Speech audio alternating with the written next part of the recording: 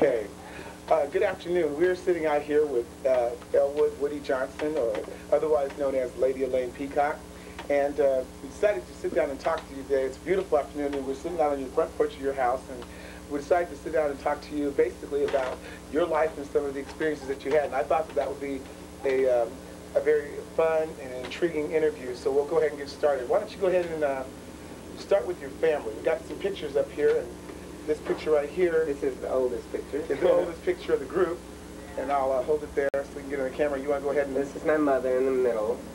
My oldest sister, Pat, who sews a lot of our gowns. Right. And you know her. And Charlene, uh, who has two boys and a husband, they're military.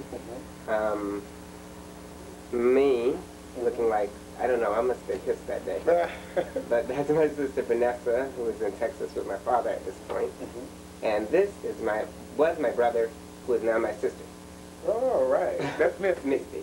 Oh, so those you've never seen Misty uh, That's Misty before. as a boy. Yes, yes, that's Misty as a boy. boy. Okay. Um, why don't you go ahead and, uh, if you can, why don't you talk a little bit about uh, where you're from and how you grew up and how you found yourself your way to Portland and Well, my mother moved here with my stepfather, and that was when I was about 11 years old. So I've been here 20 years now, mm-hmm. or 22 years. I moved here when I was 11. And we stopped off in California and stayed at my oldest sister's place until they came up and found a place.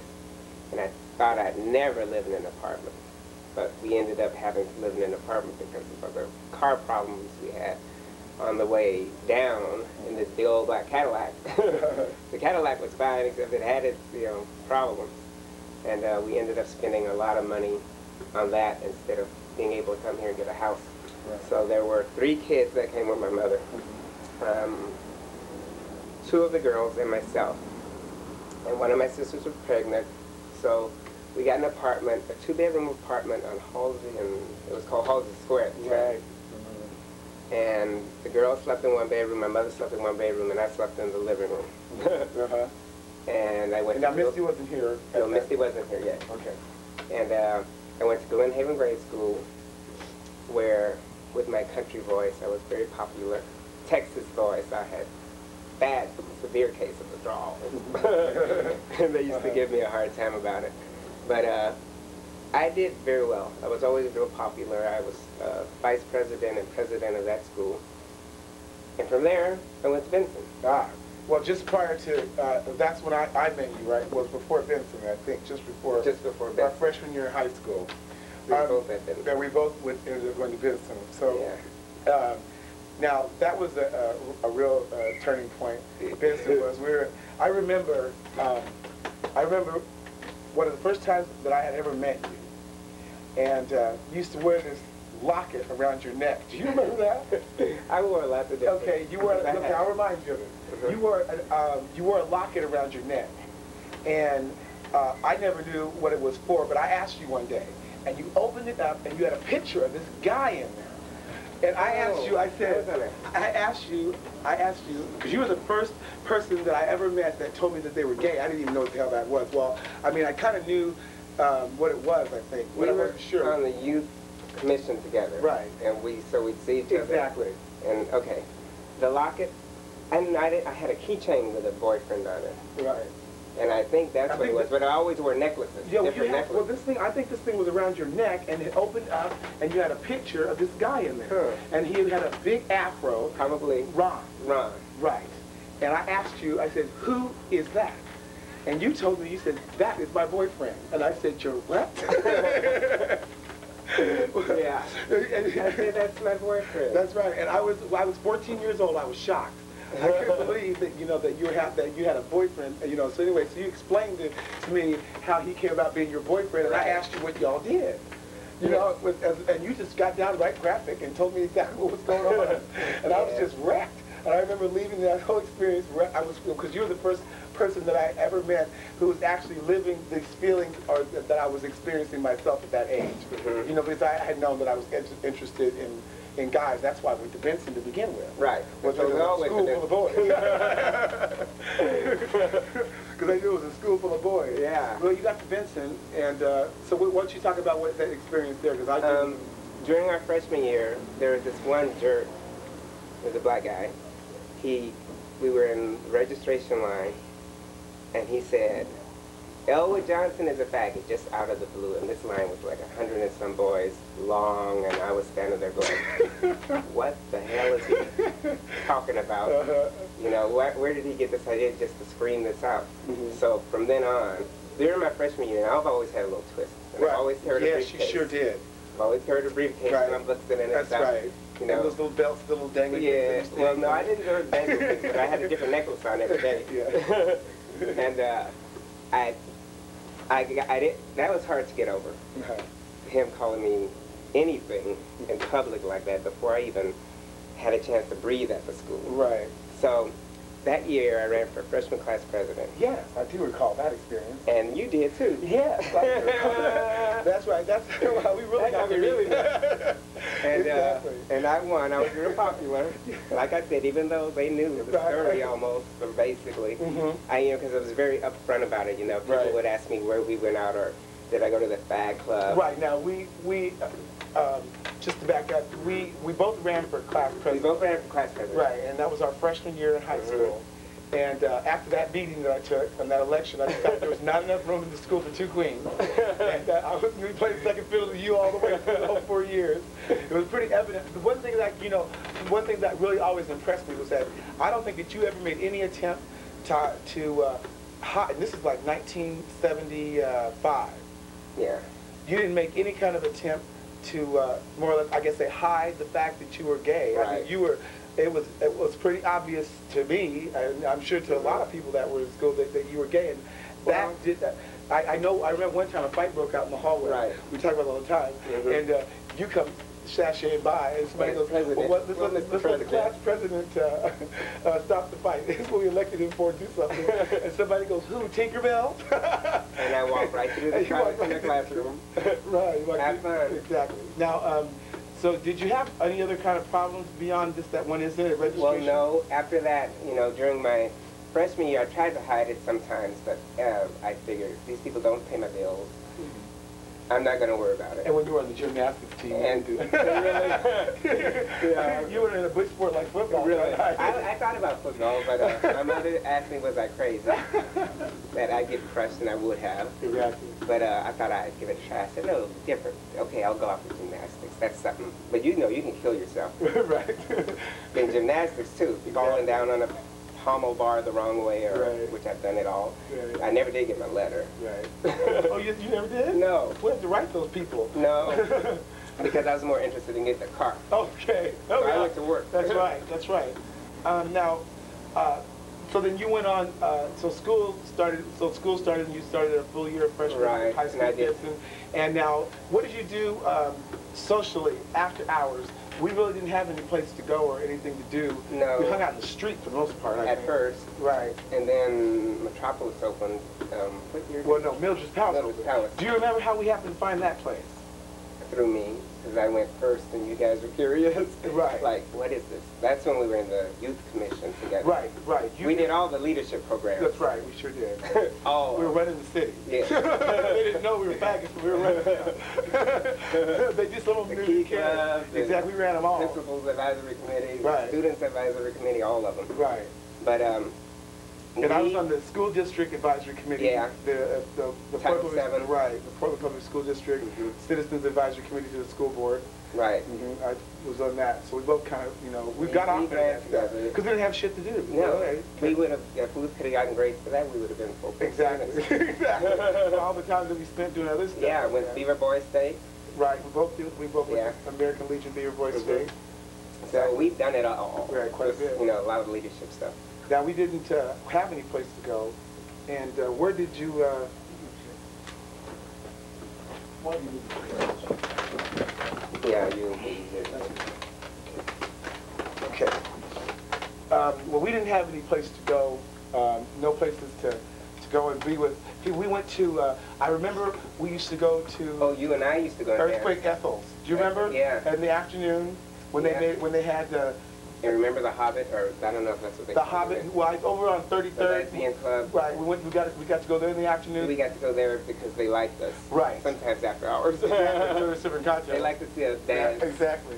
And then we also got to go to uh, Close Encounters. Mm-hmm. Um, that was Was a, a uh, small- a, a small club that they had. That They opened up to uh, kids a in the year? afternoon, right? And and then we found uh, we were in the youth council before all that. We found uh, Mildred's Palace. Mildred's Palace, yes. Okay. You and I had that? gone one time, and I told you guys about it. Exactly, and I couldn't believe it. And I said, there's a gay club. Uh, just all gay people, you have to come. Uh, You came Right. and left, and I didn't know you were there because you were afraid. I saw you. I think you were terrified. I remember. I thought, oh my goodness, he's gonna know. No, I remember. I remember. I walked in there, and then do you remember the first time we went in there together? yeah. What happened? The first thing happened when we walked into the front door. And we saw this guy sitting behind the counter hanging off this man. Do you remember who that was? Mm, no, I'm not Oh, remembering. I'll remind you. We walked into the club. We walked in downstairs, and uh, they had a staircase that kind of wound Right. up to the other floor. And down at the bottom of this cash register, and he charged 50 cents to get in. I think it was. and we went, I remember it was a dollar. It was whatever it was. It was incredibly cheap. And we walked in, and we walked in together. He goes, "Are you guys gay?" And I, do you remember what he made us do? Kiss. Yes, it was. he made us kiss, didn't you? To prove that we were gay. You kissed him then. What? I, just, I had never kissed a man before in my life, for God's sake. I was only like 15 years old, I think, or 14, something like that. and I'd never kissed a guy before in my life, and he made us smooch. We got 15. So, yeah, because they didn't want any uh, female dancing and Uh, right. mixed dancing. I was in there one night and saw a woman with, with her. In fact, I was in there one night and a woman was dancing with her shirt off, boobs flopping all over the place. Uh, oh, so I ran downstairs. Aaron was teaching her. Right, and I ran downstairs and I, I told uh, I told Lanny that there's some woman upstairs dancing. shirt. He goes, well, who cares? danced by herself. I said, I said, well, isn't this supposed to be, you know, she was probably a lesbian. He felt like, oh, well, whatever. She wants to take her shirt off, let her take her shirt off. you know, so, but anyway, so we had found a place then where I did. Where, that's where I met Mark at. No, I never hung out there. I went, Misty showed me one time Mm-hmm. when I got in trouble that night because I went home with this guy. She told, asked to give me a ride, a friend. Mm-hmm. and he and I ended up lovers. Oh, really? Reggie Neal. do you Oh, yes, I remember Neal? him. He was married and had kids. right. I remember you telling me that. I remember I remember that little. and he just loved me, but Right. I was like, uh, that lasted for a little while, you know, because he'd buy me anything, and I was like, but I don't want you to buy me anything. Exactly. I just, you know, I have other things in mind. And then, of course, I met Ron. I met several people, actually, you know. We were really I young. had- I, we were really young. I remember uh, also when we used to. I used to. I would. I met Wendell Mm-hmm. on a bus. Wow. Wow, boy, I tell you, just about. And we were probably about uh, 14 or 15 years old. And I met him on a bus. And he took me downtown because I had never been in downtown Portland in my life. Mhm. And he took me downtown uh, on to uh, what they call this area they call camp, which was basically um, uh, between uh, Southwest uh, Third and Fourth, between mm, Taylor and Taylor Salmon and or something Salmon, like that. There were a few bookstores in there. Right, and there were a few bookstores in there, and he, you know, the only way that, you know, they could really meet, you know, because we never slept with each other. That was Yeah. unheard of, y'all, get real. Please, weren't men. He took me down to this place, and it was called the Water Closet. I think it was uh, the Water Closet, and it was, uh, I think it's called Eli's now, or it's where Eli's is, or Mhm. something like that in downtown Portland. And we stood outside one night, and I had to be home like about 10 or 11. And we, Wendell said, we stand outside here, we can meet some men, and they'll take us home. we didn't meet anybody. They, they probably thought we were lost children or something. I don't know, but we didn't meet anybody down there. And then I met other people, you know, who, who actually said they were like, you know, they would like sell themselves. Yeah. They were like, you know, but they weren't really selling them. They sold themselves because, uh, not because they had to sell themselves to survive, but most of them were doing it because that was the way to have sex with a man. Yeah. Which, you know, it was unheard of us trying to do each other. That was just not working. Mhm. And then we used to hang out at a place called The Wall. Do you remember that? Down by Pioneer Courthouse? By Pioneer Courthouse. And it's before the mall, the transit mall was down there. And all the, Mhm. the homeless kids would be down there, or the kids didn't have any place to stay or whatever. And the gay kids, or anybody who was basically outside of the, uh, the mainstream, speak. I didn't get much of a chance to do any of that. Oh, really? Well, I had a lot of time to do all that. But You was, that's what you were doing when I was a dancer. Exactly. Palace. exactly. So then uh, we, we got to go to, the, to Mildred's Palace. Mildred's Palace, and we continued to go to Mildred's Palace. Right. and doing the contests and the shows and the research show? We didn't really start shows. No, not really did, but we saw them though. Yeah. What, how did that, uh, what, what kind of, uh, how did that change? What did you think that did for you, that's, you know, having a place like that? Um, what, did, did that have a dramatic change in your life? Yes, because it was the only place we could go for one. Mm -hmm. And it was a lot of people, and I like people. You know, we all like to be around a lot of people other than being at school. Mm -hmm. And it was fun. We And used to just party like What about, crazy. what about the two o'clock in the morning crowd?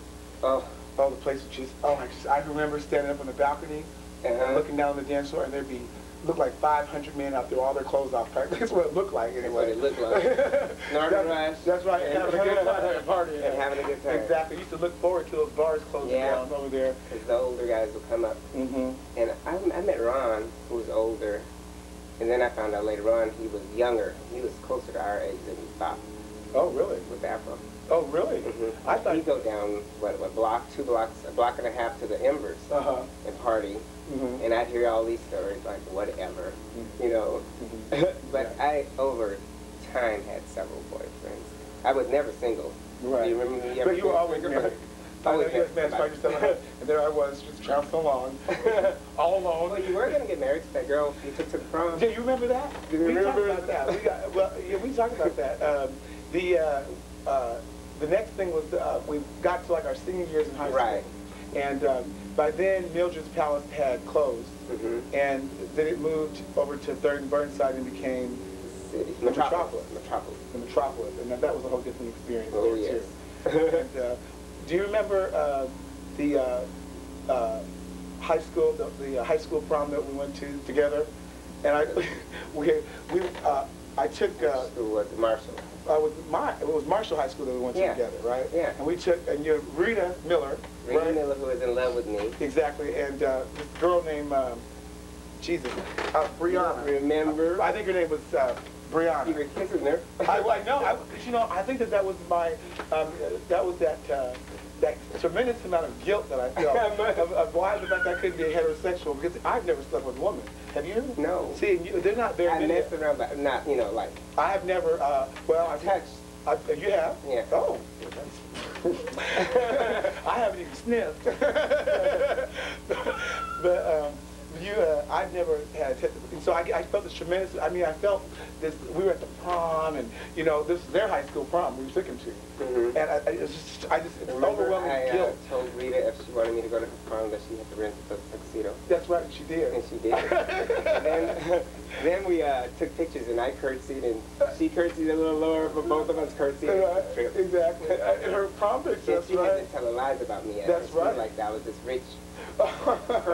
Right, she's building you up to be some some soap Yeah. opera character. That's what she was doing. Exactly. and we went to the, and after we, we took them to their prom, then where did we take them?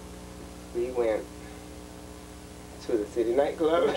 The Metropolis. after we left, we left. In fact, we cut out of the prom early. Yeah. We're going to the day club And we took them. To, and we took them down there. I remember Mhm. taking them down there. I remember uh, Brianna being completely beside herself. I you know, like, what these men dancing together inside this place. She was just like whatever, you know. And I always, she knew that I was. Um, I well, I had told her that I was, you know, that I like guys. I don't know if I used the word gay or not, but you know, Yeah. she. But so I, maybe she was on this trip about how she could convert me.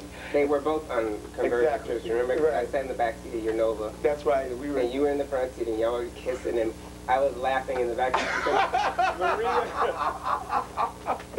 because Rita was trying to. She said, "I could change you," and she's this girl that's about 200 and well, she was a big girl, she was a pretty hefty woman.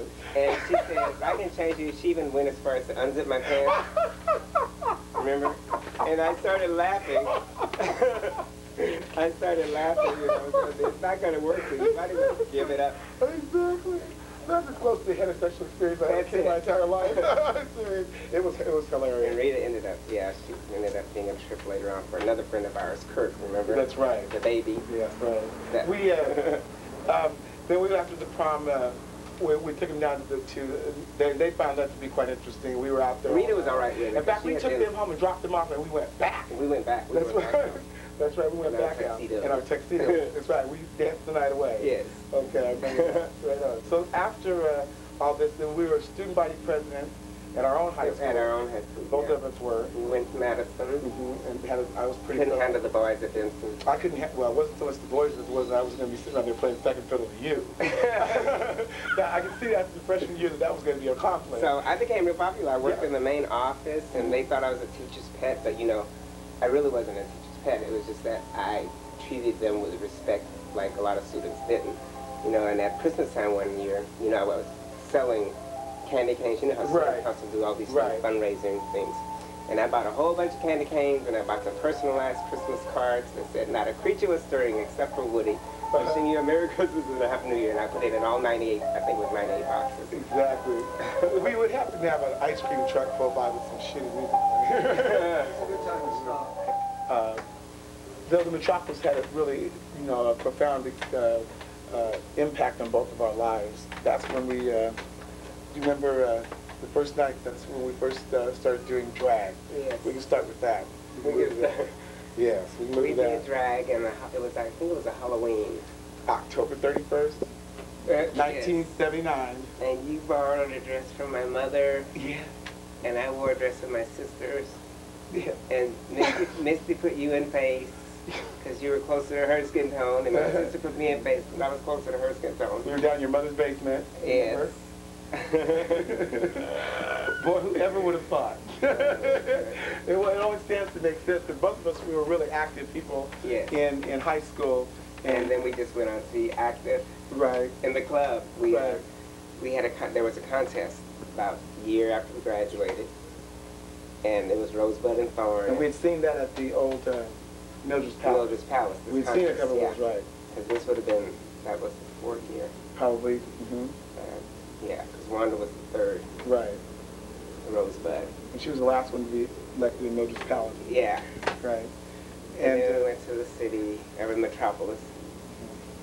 And I became Rosebud against, I ran against Sue Tissue. Remember how upset she was she didn't win? Yeah. It was a real girl. I, I do. We're unisex. Right. See, we, we, you know, most of the people that had won Rosebud up until that time, uh, they weren't as, uh, uh, I guess, uh, affiliated with the, the larger court system Right. we had been. As we had been. Right. We knew the rules and we knew. That's right. So when you, know, became Rosebud, had taught us a lot. Right, and we've seen a lot. And I used to And we, them. right, we danced in a couple of coronations before. Mhm. We were before. I have pictures of that. Right, we do. And um, we danced in a couple of uh, coronation entrances and that kind Mhm. of thing. And so we and we were underage, but we got some good exposure before we ever got there. right. But now, there was something that happened in the middle of your year uh, as Rosebud. Here we got bees attacking us for our lemonade. Terrible thing. Get away from here. I think he's going to be coming back. Does he want me? That's, could you imagine getting stung by a bee? Die from a bee sting, of all things. The, um, anyway, so we had what? So there, there we had a little incident take place during the middle of uh, your year, and I know most people probably uh, uh, don't maybe, maybe know, and some people probably don't give a damn. You're one of those kind of people that nobody ever has anything bad to say about. I sit around and said, you don't know any anything dirty to say about Peacock? I said, well, sit and talk to me. but um, uh, there was, uh, you got somebody, somebody talked you into something. right. Um, why don't you want to talk about that? Oh, not much, but it was a bank conspiracy. Yeah. well, I mean, you know, How about I that? mean, you, you know, you had some grand plans. It cost a lot of money to do it. We thought it was. I, I felt like it was just a game, because you know, it was so. It would have been so easy. It was so easy to do. Right.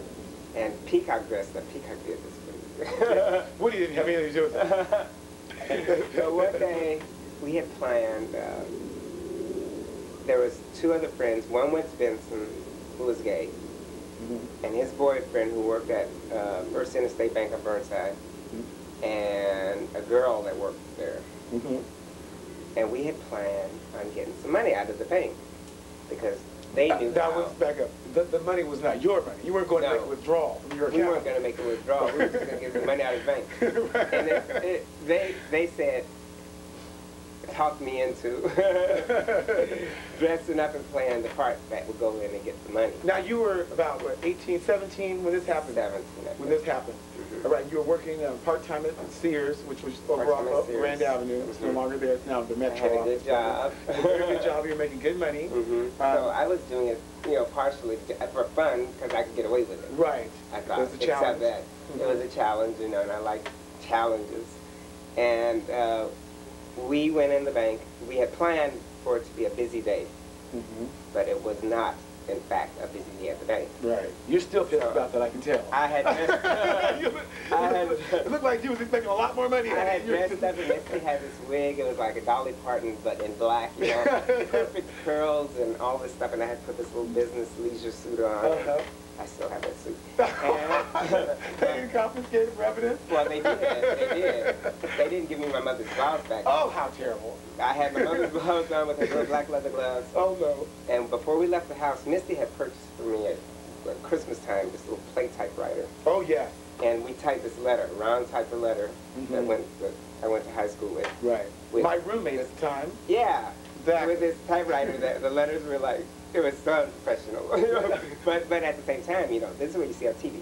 So the letters were up and down, and it said, "Go to the vault," because they had been robbed before, so it was an inside job, and he knew where the money would be. You know, Mhm. the girl and the guy inside the bank, Yeah. Ron's boyfriend Uh, uh, and the girl what was his name? who Oh, the other, uh, uh, uh, Jay. Jay. Mhm. Jay. Right. And Jay was white. Ron was black. Mhm. Okay. What happened? we went. I, I I went to the bank. First, I had to get a car, a getaway car, Right. because my Peugeot wasn't working at the time. Do you remember? That's right. She broke down. She broke down, so I had to go to uh, um, that place Chrysler Right. on Broadway Exactly. and try to get a car with two hundred dollars in my savings account. Exactly. Uh, Uh-huh. so I was talking to that salesperson, and the salesperson kept going back, it's System House, going back to talk to his boss, and his boss finally came out and said to me and the friend that I was with who did not know what was going on, Kurt, Kirk Bell. Mm-hmm. didn't know what was going on, he said, he came in the room and he said, do you think that I'm a goddamn Santa Claus? And I just started laughing. You know how Kirk laughed at, Right, giggled exactly, at uh-huh. anything. And I said, no, no, no, no, my father's coming to town with the rest of the money. and, uh, and it'll be paid for. So finally he agreed to say, okay, I'll believe you, because I have an honest face. Uh-huh. And I signed my life away, and I figured when I got to that bank door that I had either- better go get this money or do whatever, because it didn't matter what way I went. Right. I was going to jail if I didn't carry through. That's right. Exactly. So, So you were in there. so I was in. point. I went, and I was told that the, the manager of the branch was gay. It's a big black man, Oh. or bisexual. Uh-huh. So he noticed me right away, and he did. Yeah. okay, I He guess looked so. up and started smiling. like, what is this? Okay, so Jay was the head teller at the branch, so it made sense for me to wait in line Mhm. if I wanted to see, you know, if I had a large transaction, Mhm. because that's what they do. Mhm. But this lady had finished a split second before he did, and I just motioned to her that I was going to wait for him, and then he finished, and I went over to him, and I opened my little, this fold-up purse, Mhm. and I opened it, and he pulled a note out, and was all nervous and everything, you know, and it said, go to the vault, so he went to the vault to get the money, but the lady that was involved in it was nowhere to be found. She was supposed to be looking out for this old biddy that was always had her nose in people's business, Mhm. and she was going to keep her busy while we were doing what we were doing. and then, so I got, he came back, I got some money. Oh, I forgot. The first thing that happened when I got the car is the battery went dead. So, I had- So things to- weren't going right from the Right. beginning. I had to go to Sears. I had to go to Sears where I worked to Oh, get a car battery. I forgot about that. But after we got the battery, and I told my sister, you know, I we were going to a friend's work with fool of friends, so she had to put me in makeup Right. because I, I didn't do it. Because you, you were very good. Right. right. For the, Right. fir- I couldn't get the lashes on. That's right. You had a hell of a time with those lashes. yes. we'd, And, be, uh, we'd be two hours late somewhere, and you still trying to get your lashes. Larry Yes. used to go, where the hell's Peacock? So I went through that episode with them, and I, I, I went, I came through the front door of the bank, and I went out the back door. And the camera wasn't on, so they never got a picture or anything. But this lady who was at the drive-up window, later on, had said to the police, apparently, I have never seen a woman run so fast in my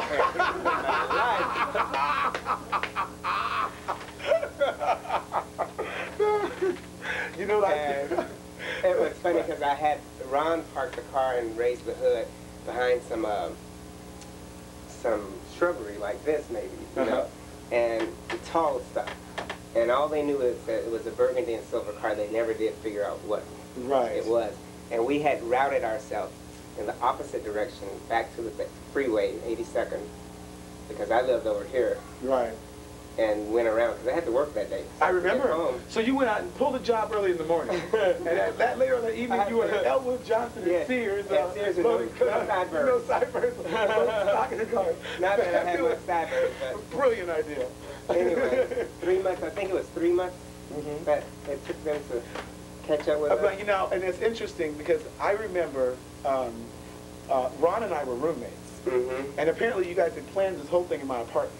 Mm-hmm. I wasn't there. I didn't know anything about it. I was working, at uh, Benjamin Franklin Savings and Loan, which is now Bank of America. I was uh, was a I was only 18 years old. I had just gotten appointed to this presidential commission, so I decided to use some of that stock, and I I got myself. Uh, uh, a job as the uh, head teller in this branch at 18 years old Yeah. of, of Benjamin Franklin. And uh, Jay and Ron were, were lovers. And uh, one of the first places the FBI always looks when there's a bank robbery is the teller. Mm-hmm. That, because they always suspect Right. the teller of being an inside job. And so they watch the teller.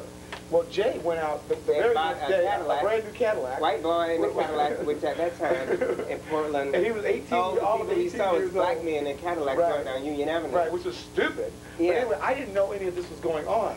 And I do remember now, you know, I remember it later, um, you know, when I was leaving my apartment, I would, for, for weeks, I would see these guys sitting up the street Mhm. in a car. And one day, they, a couple of times, they followed me all the way to work. And I remember going inside and telling, you know, the manager, I said, these guys out here had just followed me all the way from 52nd and Clinton over here to Mar- Union Avenue and Ainsworth. And I have no idea what they're following me for. Well, that was the FBI. Mhm. And all they knew is, or all they suspected is that somebody did this job dressed as a woman. Well, we both had started doing drag, so they had observed, they had thought it was me all along. Apparently. That's what the FBI agent told me, but, but I was by far too heavy. The person was much, much more skinnier. They, had, they couldn't figure out, you know, and I remember after, because they, had- they interviewed me, Mhm. you know, and I was, and I had to go down to the FBI headquarters or whatever the heck, and they, um, uh, you know, they couldn't figure out how I could lose, gain so much weight in such a short period of time. Eat well. Exactly. So, and I didn't know any of this that went on. In fact, I was when the FBI um, actually moved in and arrested all of you guys at the same time. They At the same did. time they did. They came uh, to the Ron called me and, or I called, I think Ron called me. And I said, yes, I know they're here too. That's the way they operate, you know. And I put my blazer on and I put a Oh, you look very nice, by the way. fingernail file in my pocket. and when I got down there, I pulled my fingernail file out and that's filing my nails. And the, the officer said, you, you don't look too upset by all this. I said, well, the way my friend was spending his money, the one that works at the bank, Wait, make this I said, I thought something should happen pretty soon. So, so I was expecting you all.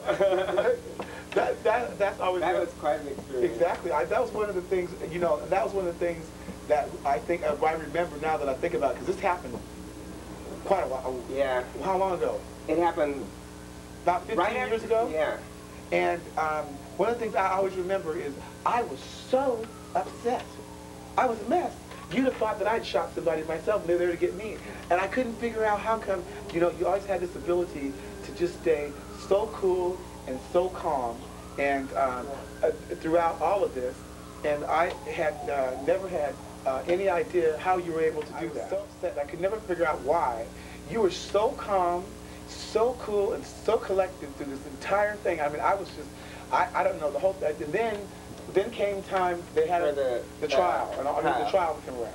And Ron was in there crying. Oh, just bellowing He's like, a big guy, you know. yeah, he- Ron, he, was all right. He, was, would he should think, have been quarterback of the football team. yeah, you would Exactly. think he would be the one, you know, to support all of us. Right, exactly. And I said, Ron, what are you crying about? There's going to be 200 and some men there.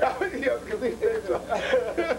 You're looking forward to the federal prison camp. My- all those men. The probation officer told me to take a tennis racket. However, I didn't know how to play, play tennis. Uh-huh. But he said it's going to be like a vacation because what it is is minimum security, being teenagers, and you're out in the middle of the Mojave Desert, Uh-huh. uh, Boron, California, Right.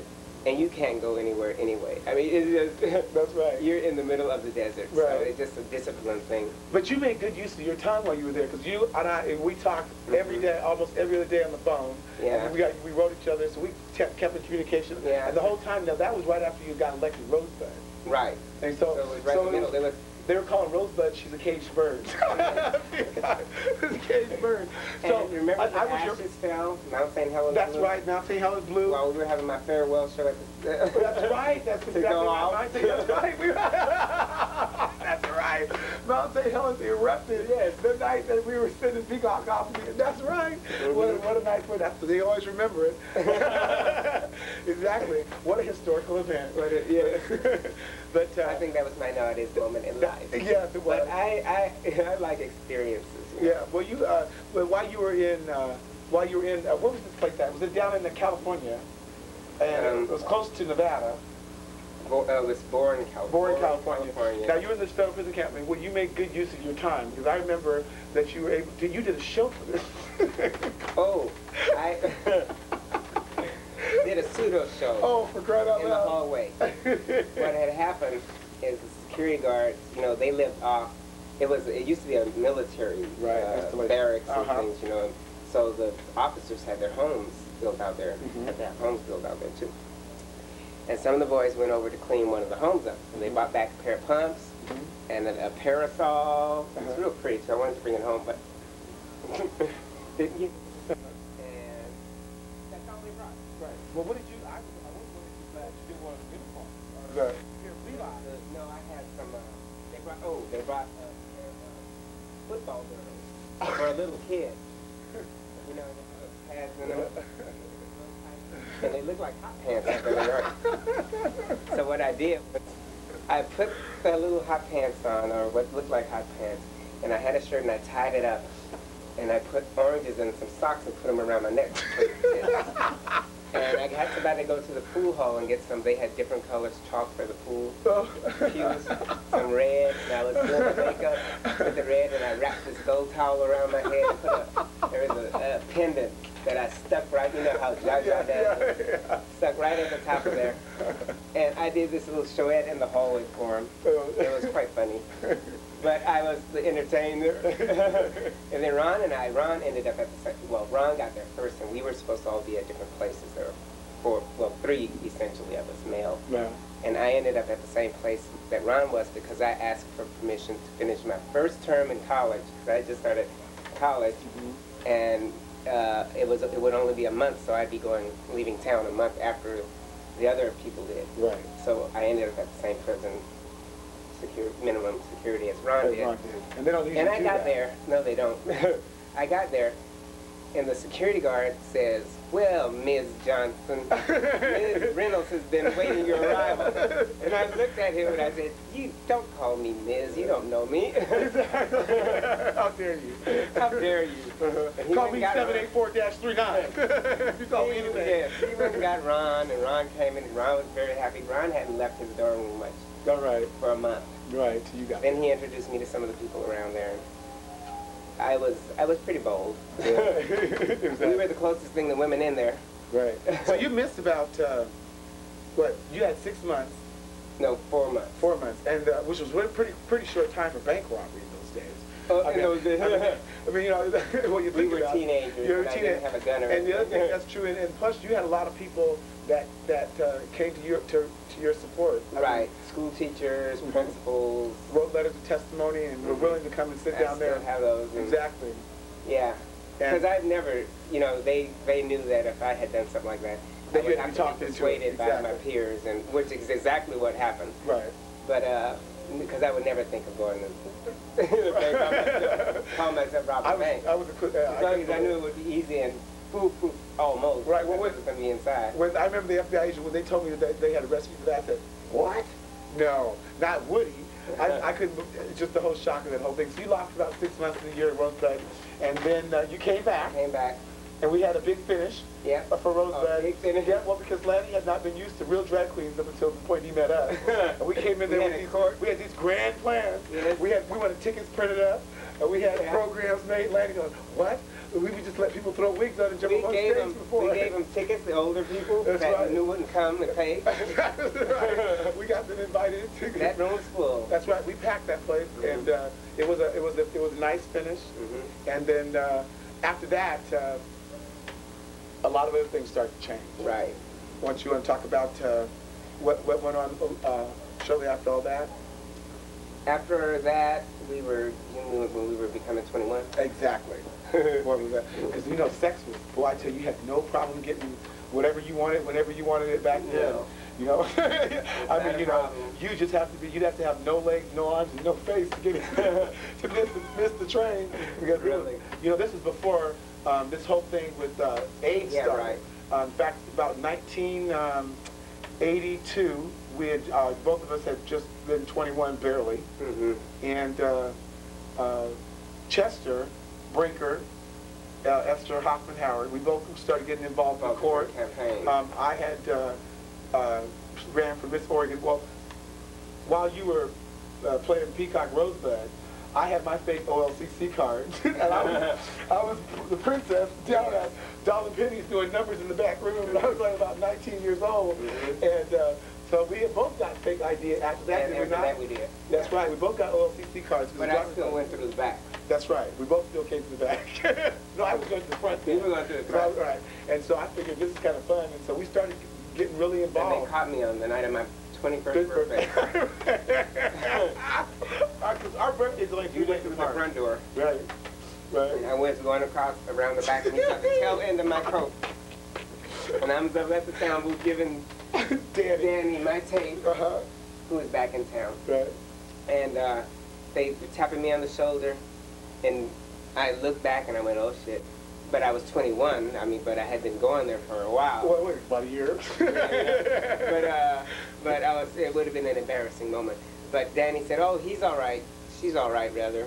Let, you know, and they didn't bother me. hmm exactly. I was like, thank God. And then I, we started getting really involved in the, the court. In the court. Right, and I ran for Miss Oregon, mm -hmm. and uh, then uh, uh, Chester hold, hold the to clear the lens. Hi there. Well, you know, I'm getting tired of sitting on this side. Since uh, do you want to trade seats? Doesn't that like a fun thing to do? Musical chairs. Da, da, da, oh, that big old chair she got right in front of the camera. Lord. Ah. ah, there we are. That looks much better now. We can uh, go ahead and continue. The uh, so then uh, I got we got involved with this court. business. Right. And uh, that was an overwhelming experience, to say the least. We were, uh, I uh, ran for Miss Oregon, and we met, uh, I met all these people in the court, and we started getting involved, and did a whole year in that. And about 1983, I think it was, um, uh, Chester Brinker, we were Mhm. talking, Esther Hoffman Howard. We worked on his campaign. We worked on his campaign. Um, uh, Um, Empress 24. Right. And uh, shortly after that, he started. I remember um, being in the back room of Dahl and Penne's, and I remember some guy. Do you remember this guy? He was a, a thin gentleman, and he came in Dahl and Penne's, and he started talking about something that these guys were coming down with in like New York and Los Angeles and in San Francisco. This disease that these people were coming down with, and I vaguely remember um, him, uh, you know, telling us that uh, he wasn't sure.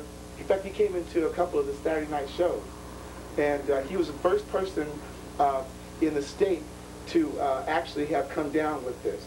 And he didn't, at the time, I don't think they had, AIDS wasn't the name of this, whatever it was. Right. Um, but he described how people had been getting sick and they were, they were coming down dying, and they, that they weren't sure about uh, what it was that caused it, and, but they just know that it was primarily gay men that were coming down with this. thing. Right. And uh, then shortly after that, um, Chester got sick. Right. And uh, I, you know, I was Chester and I were really, I, I we were really close. I really, you know, um, So were we, yeah. I We had spent- close. right. Misty and me Right. were like close, and so it just went on. and we spent a lot of time over there. And he was a, uh, you know, one of the most uh, positive people that I'd ever met in my life.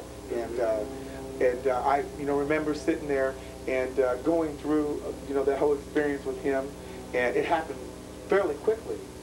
Right, we did a town hall program where they were talking about um, Social Security, Mm-hmm. which is much better now the way they handle it. But Uh-huh. um, this lady would stand up and say from the state that, well, sir, I'm sorry, you just have to wait. And Chester barely, who could barely stand up at the time, Right. stood up and said, lady, I would love to wait. Exactly. That was one of the most compassionate moments, Exactly.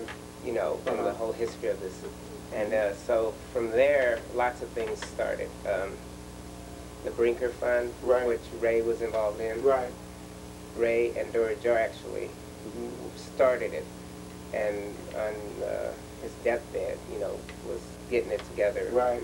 to become the Brinker Fund. Then we started Esther's Pantry, Right. which is a food bank. And that was all in response to the fact that at the early stages of all this, Right, uh, the, well, Ronald Reagan know. was president. Right. So we know what the problem was.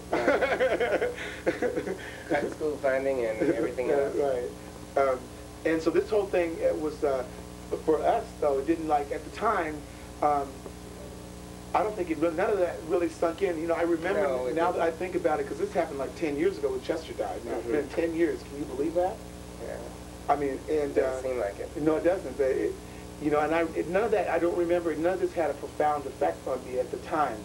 Maybe because I really felt like uh, most of the, the people, as time started to pass on, the majority of the people that started to uh, uh, come down or start to get sick, Mhm. and before they called this AIDS, when they finally called it AIDS, I think I don't know, maybe like '83 or something like that. Mhm. Um, most people, I felt like. Uh, they were outside of the group of people that I would have had any kind of contact with, period. We They weren't were bathhouse queens. We weren't bathhouse House queens. We weren't bush queens. We weren't running around queens. Right. We, you know, just did our thing. We danced most of the time, Right. and that exactly. was about it. Right. and you know we had a boyfriend here and there but we we had fun but we didn't like uh, engage in massive orgies or Right. things that we had heard about Right. uh, you know the older set doing Right. Exactly. and we the two of us just weren't that type of people Right. so it didn't matter uh, I'm sure some people were doing things that we didn't know about that was our that were our age Right. So did you, did you, uh, I, I'm just remembering again about that period and that, that, that particular moment, that time. Did you, uh, did, did you give any of this business a second thought? I mean, when you started first hearing about AIDS and H- HIV and all that, did you even give any of this a second thought? no I mean, I, I, I I didn't either. I, I don't recall ever giving it a second thought, and maybe because I just didn't think that I was at risk.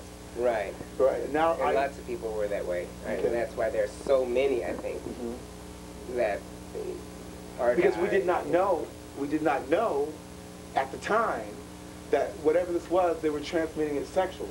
Right. No, I mean, no one, nobody bothered. They didn't know even at the time when we first heard about this Yeah. that the whole thing was being transmitted sexually. Did uh, I do remember when uh, going to Good Samaritan Hospital just before Chester died? We spent a lot of time up in that hospital Mhm. trying to figure out why my friend was dying because I didn't know anything was going on. But I remember, you know, he told me that um, that they had uh, developed a test where they could count, uh, you know, they can find, uh, detect whatever this was that he was dying from in your blood. Mhm. And he said that he said that he would suggest. He said, you know, if you can, it was better to know than to not know. Right. You know, because you just never know. If you, you know, and it's uh, But a lot of people were afraid to go and get tested. right. I wasn't. Because at one time, you know, there are people who even worked for the state and things were getting leaked out. Exactly. People's names. Right. And some of these people are important people are in positions Right. where that would just ruin their career. Most of it, because it was a, all, gay- it was a, everybody thought it was a gay thing. Right. And whether you were gay or not, if you came down with this, That's you know, right. your career was gone. Everybody had leprosy. Right. And I was told, I've been to the hospital several times in the last year and a half, and I was told uh, in the beginning of this, at the, at the U of O, they used to wear masks and gowns and gloves and come into the room, you know, which is more intimidating to a patient than Mhm. anything else, Mhm. which now we know today is totally unnecessary. Right, exactly. you know, hmm so, At Chester, and then uh, so so he he passed away. right. Um, uh, you know, we uh, continue to stay involved and and all that, and uh, the organization. And uh, time went on, and, more people started dying. Right. and uh, they finally were able to put a uh, a name to to this whole thing. It's called AIDS, and uh, I went and had a test, Mhm. um, and uh, must have been 1984, um, just before beg your pardon, it was right after I had ran for Empress and um, had won. And uh, I don't know, when, when did you uh, have your test then? And what were the, re- I, I was interested, I went, I went because uh, it took me, it didn't take me long to think about it because I, you know, if something like this is going on, I, I would rather know than not know, first of all, and I'm glad I did because that, you know, I was able to protect a whole slew of people from that. Why should I? Not a whole slew of people. I should say. Let me not have to run around. But I, I was able to protect people that I would have had contact with from that moment on. Mhm. And um, so that's when I wouldn't have my was when I had my test, not necessarily knowing that was going to be the outcome. Right. I went because I was having, um, I, I've always been allergic to pollen and, you know, dust and all kinds of things. And I was having uh, some rashes, and they were talking about, at the time, about red spots on your skin, Right. Which later they- lesions, Right. what they call lesions. Kaposi's. Yeah, Mhm. it would be Kaposi's, and I was like real scary about that. Right. Like, is this what I have? And so we were going to the Portland Clinic at the time, which was deemed worthless. What now? What is this? What, what, what year was it? Let's see. It was after I was with Ray. So we've been together almost 10 years. It's, it was, hmm, probably, oh, about four and a half years ago, almost five years ago. So, um, but the doctor at the Portland Clinic really, you know, because a lot of those doctors didn't want to deal with it. Mm-hmm. You know, it was a gay disease, and I'm going to stay as far away and make the money. You know, because they visit, they make money. Mhm. But uh, he didn't. We were very uncomfortable with him. So I got in on the U of O plan somehow, and I forget exactly how it happened. But I was going to their dental school, Mm-hmm. letting them use me as a, Right. you know, the students use me Right. to do things when I needed fillings. And, Right. And then I ended up with Dr. Lovelace, uh, Mhm. Lovelace's office Mhm. up there at the U of O. Mm-hmm. And I forget exactly how that all transpired, but you know, it's not that easy to do today. You would know. You have, you, you have a family doctor, you have a family doctor. Right. But uh, it's nice to have a specialist take Right. care of you, of course.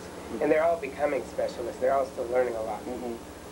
Uh, because, like it is practicing medicine, that's exactly what it is, practicing. You know, um, some people, uh, I don't know, uh, I think, you know, you know, finding out something like that as young as I was at the time that I found out, you know, uh, had a, a tremendous effect on me personally. Mhm. And uh, I think that my initial reaction was uh, maybe to do things that I wouldn't have never have thought of doing, you know, had I not known or had the information and not had somebody to counsel me through that. There was no counseling. I mean, Right. you know, you didn't talk to anybody. I didn't tell a single person. I think, I don't remember when I told you. you. hope you didn't get sick. Yeah. I don't think, I don't remember when I told, when I even told you. I don't know.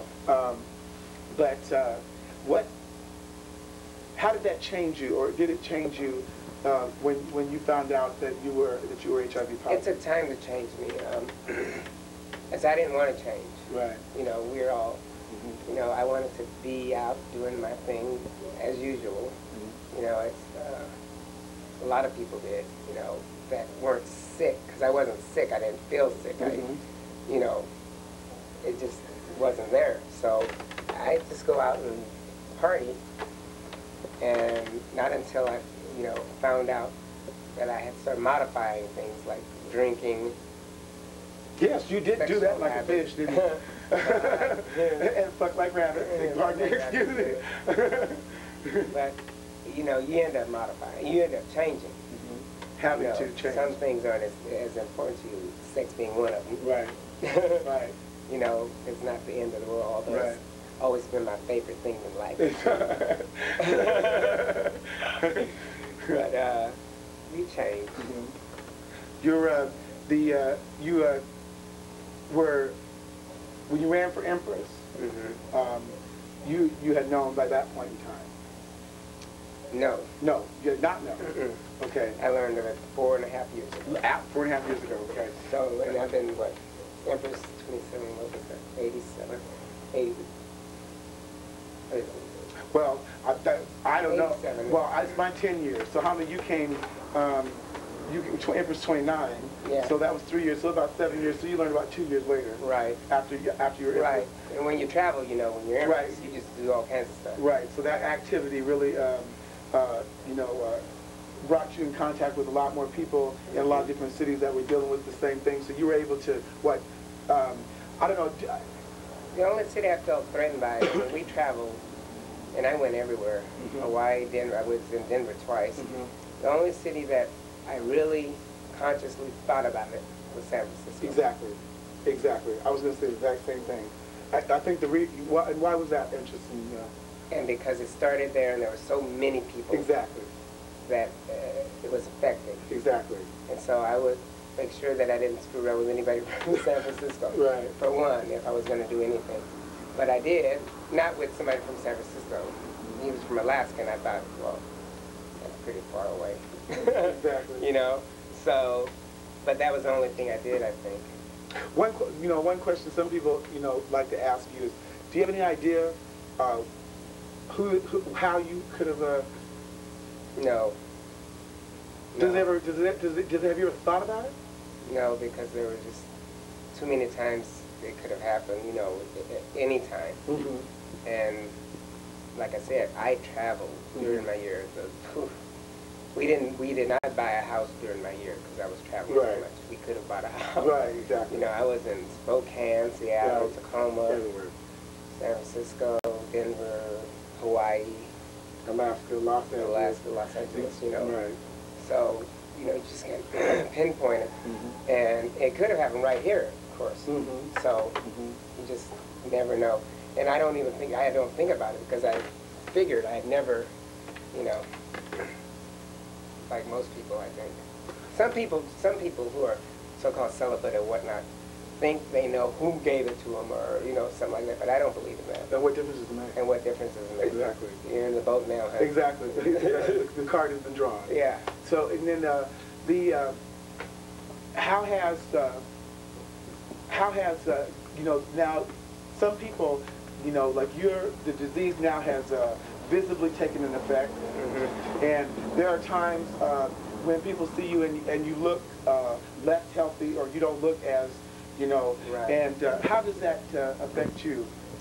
And does that, does that, uh, does that affect uh, decisions that you make as far as, you know, what you, I know you only do things that you can feel up to doing, but, Mhm. you know, Um, it's a day-to-day thing because, you know, most of the things I've been to the hospital for are things that side effects from medicines right, because of the toxins and all this crap. But, you know, since I've been going, I mean, there's just so many things that I've come up with that I've never had. I'm now diabetic, right, anemic. Right. uh, a few other things. But it's all been the medicines. And not because I just got sick. You know, and this has been going on for about a little over a year now. Mhm. So there were there there were three years or whatever right, that I was would just go out and do my thing, you know, do shows every weekend Right. and party and drink, right, right. you know. So Live that- your life like you were used to. Right. And now I, I don't drink. I have I don't drink as I've stopped drinking now, Mhm. but I had altered a little at a time. I had modified my drinking habits. The, um, uh, the, the, one of the things that I found that was really interesting is you, did, you started uh, taking AZT and DDI and what DDC, I guess the other one. You, you started taking those things. Did you take that stuff in massive quantities? I mean, did you take, I mean, did, did you take it every single day, four or five uh, times a day? Or how was it prescribed to you? And took, let's see, it was so many pills a day, twice a day, I think. Mhm. And then they changed it to three times a day. You know, it Now, you no longer take that. no. Right. It's according to what whatever regimen they were coming up with. And then at one time, uh, not too long ago, they were having you take AZT and the other one. Right. Because it would stop combating, the AZT would stop combating Whatever the it was was disease. right. And then the other one was like a helper, so they fool each other, Right. is the way I was explained, or whatever you want to call it. And level out somehow your white cells and your red cells and whatnot. Do, uh, do you think that, uh, that possibly that drug in itself may have uh, facilitated speeding up what has happened to you? Most, most, my doctor, you know, I talk, they, they, they I have refused all of that stuff. Mm-hmm. Um, it most, well, I took it for about a month, and my skin started cracking, and my, I just, I did not feel it, so I just told them I don't want it. You know, the differences between how this, you know, uh, disease is like Right. grab some people and run away, and other people, you know, I, I personally think that I was on a mission to kill myself after, after I found out. I mean, you know, I and I'm, you you know. I'm standing here, you know, but I'm sitting here now, um, basically only of have, having had, you know, I'm not symptomatic, Uh-huh. um, and uh, I guess I always ask myself the question: if anybody should have been dead a long time ago, I should have been pushing up daisies. Is the way I kind of feel about Yeah, it. Yeah, that's the way I feel. and um, but you know, I'm still sitting here today, and I don't have uh, you know any of the the physical problems that you've gone through, but most of which have been because of medication. right, You take it. right. And I question that, or have been questioning that.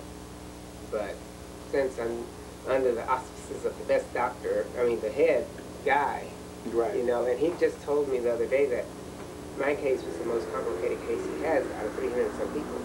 Right. And so I'm sort of being a guinea pig, I, I suspect, Right. but not to die or anything, but just so that they know what's going on because I know a lot of people that don't take their medicine just because of the reasons you're talking about, Mhm.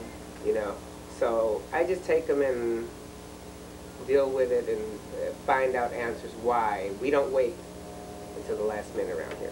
Right. Exactly. If something's going wrong, I'm at the hospital Right. Exactly. you know, and it's a problem for some people because of insurances. I mean, there's just all kinds of problems why people don't. Right. You know, it- it's very expensive. The Right. medicine's uh, Right. ridiculously expensive. I had one prescription that was four hundred dollars. You know, and thank God I have some kind of insurance. Right. exactly. and before I got it, Right. because people can't get insurance now, also. Yeah. So it's a big problem. Right. Did uh, how has uh, this whole thing? Do you, how does the whole thing? Do you feel like people maybe have like changed in the way uh, that they uh, they deal with you, or have you? Do you feel or do you notice any differences in the way, or do you find people more apologetic and you know? No, and I don't want them to be. I don't Exactly. like that. I don't like the sympathy uh, stuff at all. That's why when I first went, ended up in the hospital one time, I didn't want anybody to know, except that that doesn't do a hell of a lot for the rumors that start spreading around Exactly. town. Right. And I wrote a letter in our paper I remember. addressing the issue. Like uh, somebody wrote me a letter, an anonymous letter, saying that they thought I owed the community an explanation of what was going on with my life. Right. And I thought, I am accessible. Why can't you come and ask me about what's going on with my life? I don't need to. Well, I, that, that's interesting you brought that. I thought about, I flashed on that before you mentioned the point about the letter that went to the paper, to your paper, the Alternative Connection. Did, did, uh, did you feel like, uh, did you, uh, did you realize that you were that public of a person that people felt like you owed them an explanation I felt I was that public a person, but I was shocked that somebody had the nerves to to, to, to write a letter and have it printed to ask and you- not sign it. and not, well, that means they have no balls at all. You know. but, You know, so I did answer, but I didn't give an answer of yes or no. I now, why was that? That's my question. Because I'm a public person. I'm always out. I'm seen. I'm accessible. I figured if you want to You know didn't feel like that was a, you didn't feel like the fact that, that, that you were HIV positive at the time was everybody's business in general, but if you really needed to know, you could have come and asked me. Right. And that's my view on the whole thing. Mhm. You know, because everybody, it's hard enough being in a predicament like this.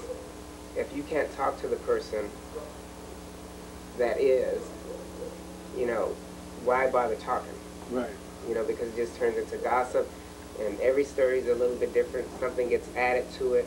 You know, I was, I have this supposedly friend, one of the queens, who was standing in a bar, and uh, it was when Bobby Calicote was up at the U of O. Mhm. I ended up there at the same time, and uh, And I showed thereafter. yeah, really. So we we just uh, we were there, Uh-huh. and uh, this person was in the bar. Their voice carries anyway, and they said, oh, if she's in that ward, she'll never come out alive, you know, in, in a public place. So I figured, Do you think that, that not, that's an insensitive thing to say? it's an insensitive thing to say, and people don't think a lot of times, especially if they're not in the predicament. And some of them are in the predicament, and they just say things out of, Right, to turn anyway. what to, uh, to make to move, uh, feel good. Right, to move, to. to move it away from them. Exactly. The- Right, to- right, exactly. Did, uh, do you also, uh, the, uh, now, some, I, you know, some, now like, the illness has, uh, the disease is taking on, you know, there was a period of time where you had lost a lot of weight. Mhm. You looked extremely frail. Um, you, uh, uh, had, uh, you had this, you know, you had a tr- tremendous time with holding things, tremble. trembles and, and th- things like that. And, uh, you know, to some people, it may appear to be, it may appear to look like, you know, you, you weren't gonna be with us much longer. Some people would have, and some people would have like shut themselves off and slammed the door, turned, changed their phone number, and, you know, left it at that. Right. But, you know, you came out of the hospital to do Peacock in the Park, which is, I was out of the hospital for about a week.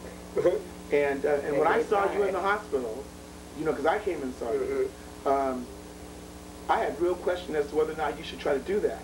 And you did it anyway, which amazed me. Really? Yes, it amazed me. It really did because I, I, I, I always, I'm selfish, and I, you know, I think that you know, you, I, we have known each other all of our adult lives, Mhm. and um, and I thought that that was a sacrifice too great to try to make. Well, you know, I had the, in the gay prior to, I got out of the hospital the day before I did that. Right. And I was having this float built and I didn't, certainly didn't want to disappoint people who were working on it for me. And I also, for the people who like to live in a rumor mill, Mm-hmm. I wanted them to know Mm-hmm. I wasn't dead. And I thought I'd sit on my float like Queen Bee, honey, and wave like I do every year. Mhm. You know, and I, I hate to be underestimated and I hate to be gossiped about. You want to know something, come, you know, and Mhm. talk to me, and that's my whole thing on that issue. So I gave myself that week to get ready for Peacock in the Park, hoping that I could gain a little bit more weight, Mhm. which I did well, Mhm. you know, and and it went off. Right. It did. The um, Peacock in the Park is, uh, um, kind of step away from that issue for a minute. We can come back to it. Um, came about as a result of, uh, well, something happened. Your mother. Well, the first year I did it, I did it for the kids so that people from the city could be involved in the shows and because they can't go to the bars. right. That so was the can see- original idea. Right. So they can see the drag shows, see the old queens, whatever they call it, Right. you know, and be a part of it instead of uh, hanging outside the bars. And now, did you do this originally as a function to do annually after you were Empress? Right. Because like the Rose Court has, you know, some Empress, Right. like we did the, the dinner. Right. Uh, Gary and I had, and they do a dinner every year now for the Emperor and Empress, And uh, they give them their rings and whatnot Right. dinner, and so we started that. And uh, you you do this annual thing where the uh, It's my empress thing, you know, and my, at the time, unfortunately, my emperor couldn't do it because he was a school teacher. Right. So he was not that involved in it. right. So, and nobody really believed that I could do it. Uh, they thought I was crazy. Mhm. you you want to do a drag show in the daytime in the park? Yeah. Yeah. So, and I was talking about it and talking about it, and Ray, my lover, said, I'm tired of you talking about it. Why don't you go and try to do something about it? And I did. Right. And I tied it directly to Gay Pride so they couldn't turn me down. Right. and and the Rose Court. I used both names. Uh, you know, nonprofit Mhm. organizations. And then the second year, the year after that, my mother had passed away at my Right. ball. Now this is a picture here of uh, of you and uh, your mother, We and that's interesting that this snapshot was taken because this is the last picture that was ever taken of her alive. yeah. That this is the night of uh, this is the night of uh, My stepping down. your stepping down, and you and her did a. Uh, a, no, a, Number. one of the opening numbers. Right. Uh, I know him so well. I know Whitney him so Houston well. and her Whitney mother. Houston and her mother did. And uh, your mother had never been on stage before to do something like that. Nope. She was so happy, excited about doing it. I remember. And uh, shortly, uh, shortly, moments after she left the stage from doing this number, um, she had a heart attack and passed away hmm um, back there at the ball. Can we talk about that for a second? Um, the uh, I remember you know, that like it was yesterday. Mm-hmm. And because I was emceeing that coronation, and uh, I had just after she had left stage, I walked up to her and I, you know, I said it was, I said it was wonderful, and I asked her did she have a good time, and she said yeah, and I said well go ahead and get, get changed, and I mean you can go back. Because she was going to be part of the next entrance. Exactly. And so I said, and I'm headed back up front, and I gave her a hug and walked away. And I walked back up to the podium, and then 30 seconds later, couldn't have been that much time, Misty comes running up, you know, telling me that she needs a doctor. She was in hysterics, and I couldn't figure out what she was talking about. And I said, she said her mother just collapsed, and I said, oh no, I just left, you know, back there, and uh, you were on stage during this whole time. And uh, then, of course, when I got back there, you know, I had lost it. I was the wrong person Right. to have, you know, in a situation like that. Yeah. I had lost it, and um, they didn't want to tell you that this had happened. Right. Um, they had, were going to have a meeting downstairs, and uh, they had called an ambulance, and they were going to have a meeting downstairs, and, and they didn't want to tell you this had happened. But the body, her body had to come right by where I was It- getting ready to Right. do the act. Right. And um, they, they, they were, the, the court, the board members, whoever were back there, they didn't want to tell you. And of course, you know, I'm like about, I wasn't even in the same, same room. And uh, I, I said, you, if you don't tell him, then I'm gonna have to walk out there under the state and tell, and tell myself his mother's just collapsed back here. You know, he has the right to know that, and you don't have the right to, to make that decision for him. I, but I thought it was interesting, um, what I found interesting about the whole thing, besides the fact that it all happened, it was just like a nightmare.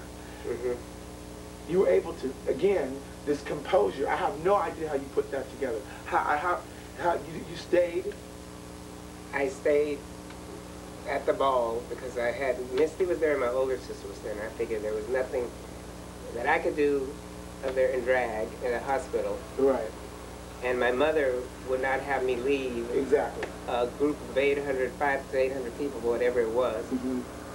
of a party, you know, because she was an entertainer too, and she gave little parties of her own. Right. And uh, she would not have me leave my guests. Right. So I stayed. And one of my sisters, ironically, mentioned that because one of my sisters didn't understand. No, she did not. And she was really upset at me. Yes, right. And I, at the funeral, I explained it, why I stayed. And she was fine. So I think I get that from my mother. She was very strong Mhm. woman in her convictions and everything.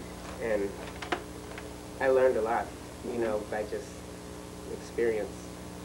And then after your mother, you know, she was really involved in um, helping. Uh, I know that from time to time she had talked to my mother, and they had had discussions. And um, I, I, I really think that some of those conversations, you know, because you know, not only did she have, uh, you know, you, but she also had uh, Misty, Mhm. uh, who used to be a man at Down Sex Change, and uh, then your other sister, Vanessa, who is uh, bisexual, I think. Well, this week, and and uh, The other and I have a gay sister. those is just a lesbian. Right, and she has a son. But uh, so there's a lot of diversity in that family. She had to, that obviously she had to, to contend with, Mhm. and so she uh, obviously would be a, an invaluable resource for some people. And when we were growing up, a lot of guys, kids, you know, would come to your house. We had parties. everybody was my She- mother. Everybody was I right. mean, she was my mother was everybody's mother. Right, because she threw parties. We come there, you come there and get a place to eat. You Mhm. talk to her about anything. yeah, It make no difference what the subject was. and it wasn't was- about calling your parents and saying, "Well, your son." right, and She she, would call your you know, parents and talk to them. If they needed to be talked to. She would go to the house and have discussions with these people Yeah. about their kids. I mean, you know, she would go out of her way to do, you know, whatever, you know, she could do. I mean, it wasn't like she put her phone number in the phone book and you could call her, but, but it was just people that we personal, knew. right? and then, you know, we, because we were so much out into the club, we knew people and she would talk to Right. them or their parents or anybody, Mhm. you know, to help them deal with, um, and she was involved with the She P was flag. president of Pete Flag for one year. Exactly. And uh, then she also got a chance to, uh, uh, after this situation happened, this, This is the the year before. at the first, at the first Peacock in the Park. There's Audria up there. And then the next year, uh, after uh, she passed away, We started the scholarship. You said you need to do something in your mother's name. I remember you said right, you need to do something to carry her name because she, you know, all these people know her. you're right. you know, all our friends and stuff. And I said, okay, yeah, we can do something. And we already had a scholarship fund going, Right. but we thought we'd uh, do it for the youth which is not always who applies, but do it for youth and for uh, uh, vocational or hair school or dog grooming school, you know, whatever they wanted to go instead of higher education because everybody obviously don't go to higher education, Mm-hmm. but some do, and we've given out both types of scholarships, and we're really pleased with that because we're we've done very How well. much have you? How much has Peacock in the Park raised since, roughly, since uh, you guys started uh, I think it's around the Audria Edwards Scholarship Fund? Ten thousand dollars. We've done we've given out almost as much as the Frank and Allison Scholarship Fund, And it's been they've around been for- around for, For 20 years. yeah. Um, but obviously, the we, uh, we operate differently. though. Exactly. They set the money aside to make interest or whatever, and we give away what we make right. during the year, and uh, the, the money we make each year we set aside to go out the next year, and we give it all out. Right. Ha- Now, the other question would be, um, uh, have you given much thought to, obviously, you know, we all like to be here forever, and uh, certainly what happened to Cedric, uh, your former Roommate. roommate, you know, and, and, my, and our friend David Evans, uh, Mhm. you know, uh, with the quickness by which we can all come and go in this situation, have you given much thought to about Peacock in the park? Once Peacock, once there's no Peacock to throw up in the park up there anymore, or whatever. I mean, you know, the idea obviously needs to be one that needs to continue. Right. What do you What do you see happening with that? I see the show going on by responsible people in the community that have worked with me to put it, to get it where it's got, to get it where we. but you're the draw. There'll be other draws, Mhm. I hope. Mhm. I mean, there's people that I'm looking, certainly looking forward to taking, not taking my place, but No, we can the tickets. to carry on Right. what, The commitment. you know, the commitment. You know, there's young people in that can do it. You know, there's Poison Waters, there's Mhm. Pepper, and all these people. They're out there, Mhm. you know, and, and Maria, you know, and, and sort of, I'm letting people, you know, I stopped volunteering for so much because I never used to say no to anything. I- Exactly. every show you did, I said, okay, let's do it, let's do it. Right. Never said that's part of my popularity. Uh-huh. Peacock's done everything, and Right. she would do everything if you just ask her. Uh-huh. So, um, there's a lot of people out there now, or a few, that I really believe in, that are going to be around for a while, you know, Mhm. as far as I know, Mhm. that will pull it off. I don't think they're going to change the name unless they have balls or something. No. Come down here. exactly. So But, you, uh, you, I think that that, that definitely is uh, one of the, um, if, if nothing else, it, it would stand as a monument to uh, to all that you've done. The fact that uh, that has gotten so big. Right. Some people thought that this was not going to happen this year. There were rumors, rumors, even going around about, you know, I must I'd be dead or something because it wasn't going to happen, and it happened just like I planned on it happening next First year. time it ever rained, really. This is the first time it ever rained. Mm-hmm. It didn't really piss me off, but I was not happy about it. Especially all the efforts you made to get there. Thank you, and. I got those birds. Exactly. I was in the hospital the week before on the phone trying to find doves, actually. and uh, I had my little, because they weren't feeding me, they had me on a liquid diet, and That's I right. had my little table looking like a desk. Yeah. And I'm calling around and calling around, and there was only four numbers in the book of magicians, so that's where I started. And they told me that I had to, I'd probably do better with pigeons and they wouldn't have to pay for it. Let them fly away. well, they're homing pigeons. Right. They go back to where they came from. And so we got managed to get 19 pigeons and get that effect. And then the bird that crawled up on my shoulder, which was not planned, a lot of people thought it was planned, but it just happened. Mm-hmm. And then he proceeded to poop. but that was all right. I, was, I had my arms out going, what do I do? You do I it. rather there do poop on my costume than take a bite out of my ear. but it was very effective. You know, that whole little entrance I put together. Mhm. And we had dancers after that, and each time I peeled something off, I had the costume shop make a wonderful costume that from a poster from Mardi Gras from last year that we had gone to, and it turned out beautiful. So each time I would do something, I'd be in a different layer of, Right. you know, costuming. Right. The, uh, And everybody, that's what everybody remembers, those birds. most people do It's like, remember. what else done that day? Most people do remember. You, that's usually what they'll remember. Uh-huh. Something insignificant like that. Yeah. Not the fact that you were there. Yeah. All it took to get you there. But that's it. The um, uh, we, I touched on a person a minute ago, and that was Cedric. Um, Mhm. uh, Cedric's last name was uh, Williams. Williams, and uh, he was. Uh, He was Empress in Alaska when I was Empress here in Portland. right, and he moved here to Portland. Because of me. Because.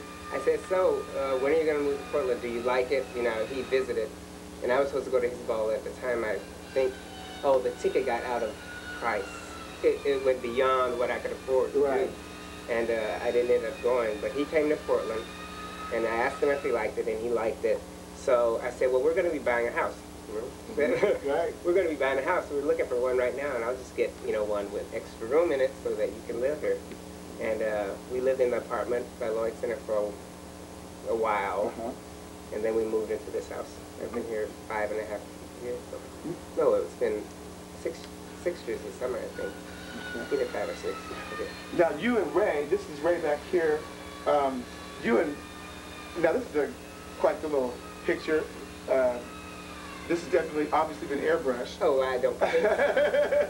It's lighting, been, maybe. It's been shot through a mattress with with it's gauze on the. Broadway photo. and you and Ray, um, you guys have been together. Ray Southwick's been together for almost It'll ten be years. 10 years next month, 6th of October. Really? Now, uh, that's interesting. You, I don't know, you know, uh, something's always got me. And I will bring it up now since we got it on camera. I will never forget my very first experience meeting your husband, Mr. Southwick. Do you recall? At Denny's? No. No, no. This was uh, um, the night of the coronation when I was crowned emperor. Oh. Weren't, my good friend, weren't you in the hallway? Here's the scenario. They come back and they, uh, they, they, uh, they come back and they tell me that I win. What? I mean, I, first of all, I couldn't believe that I'd won. You ran against Dora. I ran against four or five people. But here I was, you know, I was um, down in the chicken coop. That's, you know, is what they consider, because I was, you know, I wasn't part of the, the, uh, Clique, the the clique or the mainstream people that usually run for this kind of stuff. And I'm down at, uh, I spent mo- the majority of my time down at uh, the, the city nightclub, which had just opened up in fact, over on uh, Northwest or Southwest 13th. And um, uh, and I, the other times, I, the other time I spent my time at the lesbian bar with lesbians, because some of the girls, my friends. I used to go there. party- Plus, I used to DJ over there as well. Right. So I was kind of out of the. So I really, um, I ran more because at the time, I thought it was a fun thing to do. I had just did this Oregon, I followed champagne all around town, Mhm. and uh, so I decided to run for this and uh, got involved with that. I'm coming, they, I was totally shocked that I won. They're taking me out this hallway of the Hilton Hotel, down this hallway to get into the ballroom. And the first person I ran into was your husband with the cocktail in his hand. And He was bombed. and there wasn't a, a, a word that began with a B and ended, ended with an exclamation point, an F-U word with an exclamation point, and about six, I, I, but you were standing there. Was I? Yes. I. Yes, you were standing there. And I thought, first of all, I thought, how could you let him say this to me? And I, I hate, I'll What tell you was now. he? He was calling you He names. call- He he telling you. oh. He was supporting Dora. Right? Yes. The bar was supporting Yes. Dora. And um, I, I don't, if, if there was any moment in my entire life where I really thought that you could have stepped in and did something to me, it was that moment. Because No. here I was, in sh- first of all, shocked. And also, but you don't remember, so you can't tell me why you didn't. I've always wanted to ask you why you didn't step in and step in and uh, uh, slap him in the face and stuff Because you guys are just recently married, I, I imagine. At that point in time, you just got Raymond, if you know him, and you know him now. Yes, He's a very stubborn person. yes, And then when he's had a cocktail or two, yes. it's not. it's not something that you do. I don't care who you are. I can I can control them at you know certain points. If I, I mean, because I have a temper, but apparently at the time I was just happy that you had won. Yeah. I was happy. Uh-huh. He, on the other hand, was a different story because he was supporting another candidate. Right, right. That, And- that caused friction in your household? No, not if you don't let it. that was the only. You know, I was, that, that's another one of those times that I say you know, life goes on. and, Uh-huh. You know, I stay calm. Right. I don't let anything stress me out. Exactly. Including my husband. Exactly. and you have plenty of reason to be stressed out. Right. But anyway, uh, it- we um, uh, had, uh, so that was, that, there was one disappointing moment in the, in the entire affair. That would have been the moment, as far as I was concerned, that you didn't step up. I knew you'd get over it. well, I did. It took me a while, but I and then did. he was on the board, your board of directors. You guys Exactly. became friends. Exactly. Exactly. We know later on. Well, I had to. He was your your your your other half. Yes.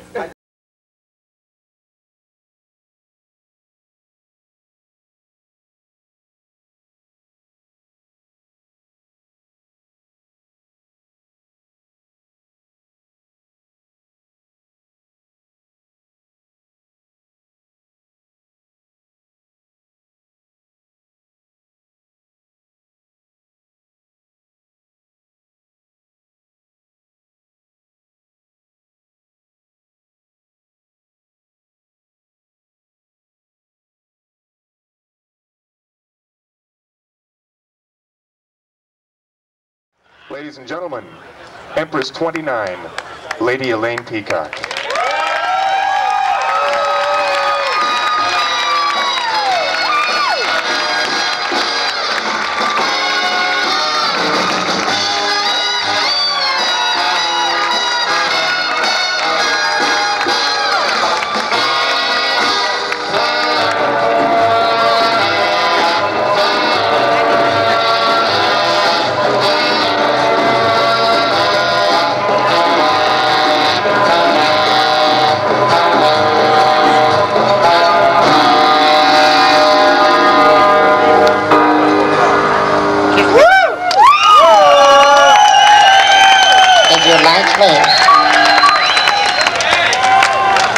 Show it.